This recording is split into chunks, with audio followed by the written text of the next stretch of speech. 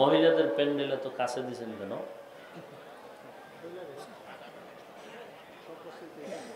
হ্যাঁ?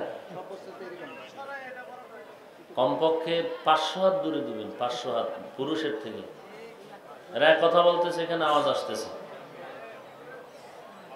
মহিলাদের কণ্ঠের আওয়াজও পর্দা। এরা বাচ্চা কাচ্চা নিয়ে আসে।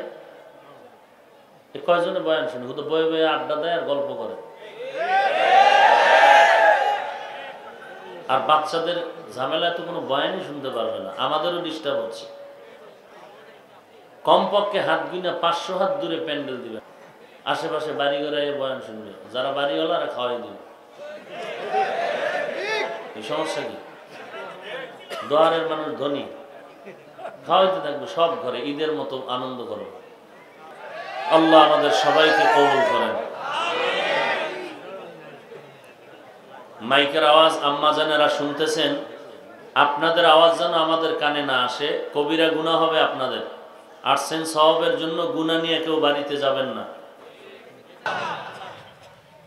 হকীকত সে তু দুনিয়া বে খবর হ্যায়, দুনিয়া কি নুমাইশ পর নজর হ্যায়। নমি গুয়াম কে আজ দুনিয়া জুদাবাস বাস বাহার কারে কে বাসি বা খোদাবাস। খারাপ লাগতেছে? মনে থাকবে এই বয়ান? হ্যাঁ? বলেন কে আল্লাহ মানে? হ্যাঁ? বলেন কে নবী মানে? যে নবী?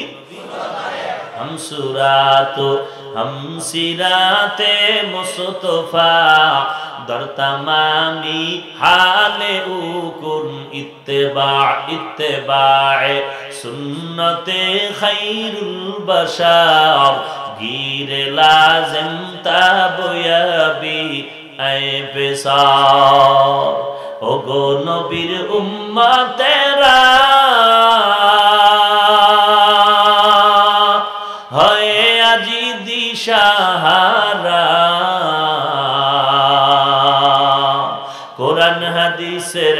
চলো, কোরআন হাদিসের চলো, যখন যাহা চায় মনে। নবী বিনে কে তরবে পুলসিরত মিজানে। নবী বিনে কে তরবে পুলসিরত মিজানে। চলো চলো চলো মুমিন, চলো নবীর সন্ধানে। নবী বিনে কে তরবে, পুলসিরত মিজানে। নবী বিনে কে তরবে, পুলসিরত মিজানে। নবী আমার জীবন ভরে। দিনের লাগি কষ্ট করে। দান দান শহীদ করিলেন অহুদেরই ময়দানে। নবী বিনে কে তারাবে পুলসিরাত মিজানে। নবী বিনে কে তারাবে পুলসিরাত মিজানে। এমন এতিম নবী আমার।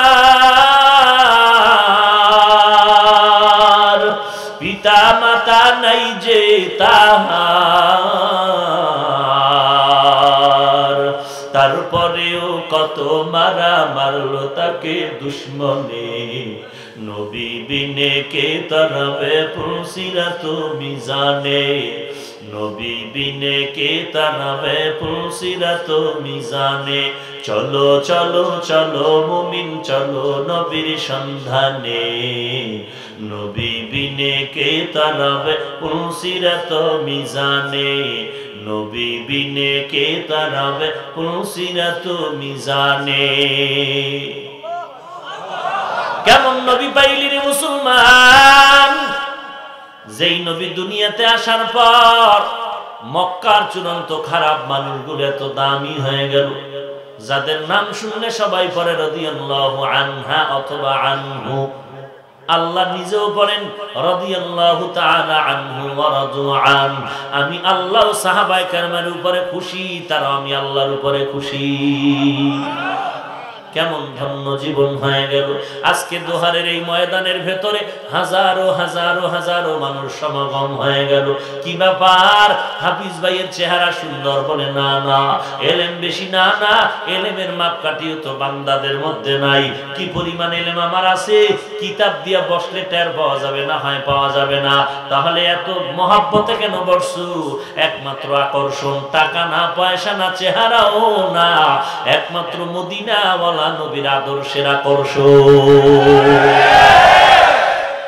দেড় হাজার বছর পরে সেই নবীর আদর্শের আকর্ষণ কি পরিমাণ? কিসের এমপি, কিসের মন্ত্রী? কোটি কোটি টাকার মালিক একজন গরিবের সন্তানের পেছনে দাঁড়ায় নামাজ পড়ে। একবারও জিজ্ঞাসা করল না, আমার অর্ডারে গোটা বাংলাদেশ দৌড়ে, তোর মতো গরিবের অর্ডারে কি আমি রুকু সেজদা করব নাকি? একবারও এমপি বলে নাই, মনের মধ্যে ধারণাটাও কখনো আসে নাই। বরং ওই গরিব ছেলেটা যখন হাত বেঁধে, ওই বান্দাটাও হাত বাঁধে, পিছনে বৈশা হাত বাঁধে। ইমাম সাহ গরিবের সন্তান যখন রুকুতে যায়, এমপি মন্ত্রী কোটিপতিরাও রুকুর মধ্যে যায়। ইমাম সাহ যখন সেজদায় যায়, কোটিপতি এমপি মন্ত্রী, কোটিপতিরাও সেজদার মধ্যে যায়। নামাজের পরে ইমাম সাহেবকে কখনো বলে নাই, ও ইমাম সাহেব, তুমি গরিব হই, আমারে কমন করলা, তোমার এই কমান আমি মানতে পারি না। বরং এমন কথা তো বলেই না, বরং ইমামের কাছে গিয়া সালাম দিয়ে কয়, হুজুর, নামাজটা পড়িয়া বরং মজা লাগছে, আমি একজন এমপি সাহেব, একটু দোয়া করবে। টাকা টাকা টাকা। এই সম্মান কিসের? রহমাতুল্লিল আলমিনের আদর্শের সম্মান। কথা ঠিক নেই? সেই নবীর আদর্শ প্রশিক্ষণের জায়গা হলো মাদ্রাসা। একটু চিন্তা করেন তো। আমার ভাই আক্তার সাহেব যদি এখানে বইয়া বলে, দুই ঘণ্টা বয়ান করুন, আমি নিজে লেকচার দিব বিদায় বেলা এক হাজার টাকা দিব। দুনিয়ার কোন কোটিপতি এরকম বয় যদি দুই ঘণ্টা লেকচার দেয়। আর বিনিময়ে এক হাজার টাকা দিবে। কাঞ্জাখোর ছাড়া কোন ভালো টুপিওয়ালা আসবে? মাঝখান দিয়ে কইব, স্যার, টাকাটা আগে দেন, বারোটার সময় গাঞ্জার আসর আছে। বুঝেন কিছু? অথচ এখানে র্যাব নাই, পুলিশ নাই, কিচ্ছু নাই।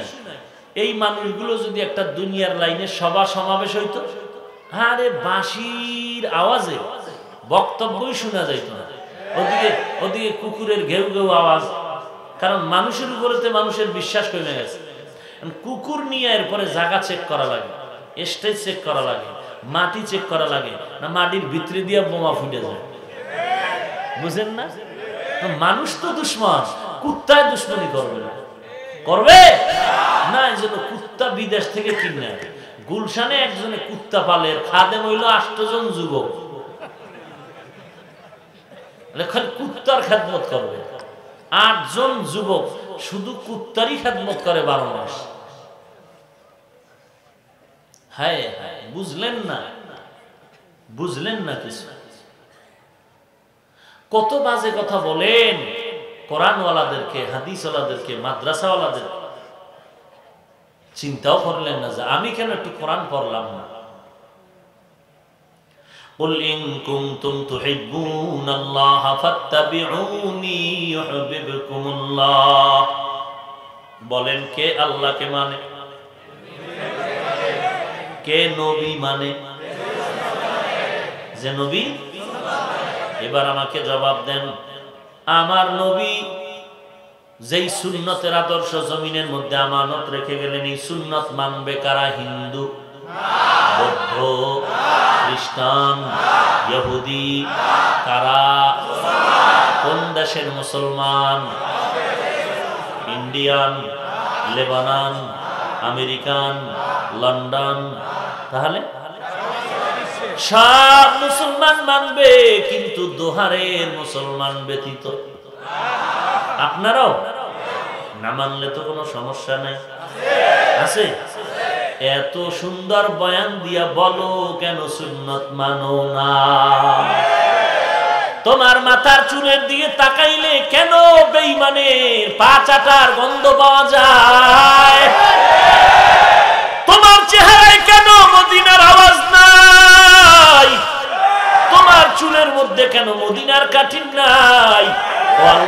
বান্দা, তুমি ক্রিকেটারের সাইজে চুলটা কাটিয়ে কেন বান্দর হয়েছে বলো? তোর মায়ের দোয়া বাড়ায় দিছে চুল কাটার কারণে। এইভাবে টিকটিকির মতো চুল কাটার কারণে তোর বন্ধু বান্ধবেরা দোয়া করে। তোর শিক্ষকেরা পরীক্ষায় নাম্বার বাড়ায় দেয়। যৌবন বেড়ে গেছে। চেহারায় নূর বাড়ছে নাকি? না রে বাবা, না। দুই একটা তোর মতো গাঞ্জাখোর সাব্বাস দিয়া কয়, ধন্যবাদ, এবার টাটকা বান্দর হয়েছি। ধন্যবাদ তোরে, টাটকা বান্দর হয়েছিস, ধন্যবাদ। এরে যুবক আল্লাহর গোলাম, হাসির কথা নয় রে বাবা, যা কিছু বলি জাহান নামের আগুন থেকে বাঁচানোর জন্য বলি। তোর অন্তরে যেমন গুণা করার আকর্ষণ, আল্লাহর কসম গুনার আকর্ষণ আমার অন্তরেও কিন্তু আছে। তুই যেমন দাড়ি কাটতে মজা পাও, আমিও কিন্তু দাড়ি কাটলে যৌবনের ভাব আসবে, এই বুঝটা কিন্তু আমারও আছে। তুমি যেমন লম্বা জামা পরলে শরীরটা কেমন যেন একটু আটকা লাগে, আমার অন্তরে এই ধারণা আছে। মেয়েদের নাচ গান দেখলে খুব মজা লাগে, তোর যেমন মজা লাগে, খোদার কসম আমার মজা অন্তরে ডাকতেছে। আরে বাবা, তুই যেমন সিনেমায় গেলে তৃপ্তি পাও, পার্কে গেলে তৃপ্তি পাও, ওই পার্কে আমারও যাইতে মনে চায় নবস টানতেছে এরপরও কেন বাবা টুপি ফালাই না, দাড়ি কাটি না, নামাজ সারি না বেপর্দায় চলি না, হালাল খাই, হারাম খাই না? একটাই মাত্র কারণ, তোর পায়ে ধরে ধরে কত বিনয়ের সাথে নরম হয়া হয়া বলি, বাবা, নামাজ পড়ো, পর্দা করো। মা বাবার খেদমত কর। আল্লাহ আল্লাহর দোয়া নেয় নবীর সুন্নত অনুযায়ী চলো। সহিভাবে কোরআনটা শিখো। এরপরও নতুন করিয়া কত বিনয়ের সাথে বলার পরও টুপি মাথায় দিতে চাও না। আর আমারে যদি কেউ কোটি টাকা দিয়া কয়, হাফিজ ভাই, তোমার এক কোটি টাকা দিব, তাড়াতাড়ি দাড়িটা কেটে বলো টুপি ফেলায় দাও। ওরে গলায় ছুরি দিবে, টাকার লাথি মারবো, তারপরও দাড়ি কাটবো না। কারণটা কি রে বাবা? তোমার এত সুন্দর বুঝানোর পরেও তুমি টুপি মাথায় দিতে চাও না। আর আমারে টাকার লোভ দেখাইলেও আমি টুপি মাথা থেকে ফেলতে চাই না। কারণটা কি? তুমি কি অন্য ধর্মের মানুষ? আমি আর আর একটা ধর্মের মানুষ। ব্যাপারটা কি এমন? না না। তোমার ধর্ম ইসলাম, আমারও ধর্ম কিন্তু ইসলাম। তুমি যে আল্লাহর গোলাম, আমিও সেই আল্লাহর গোলাম। তুমি যেই নবীর উম্মত, আমিও সেই নবীর উম্মত। তুমি যেই কোরআন মানো, আমিও কিন্তু সেই কোরআনের অনুসরণ করি। তুমি যেই মদিনার পাগল, আমিও সেই মদিনার নবীর পাগল। তুমি যেই বাইতুল্লাহর জিয়ারত করো, আমি বান্দাও সেই বাইতুল্লাহর জিয়ারত করি।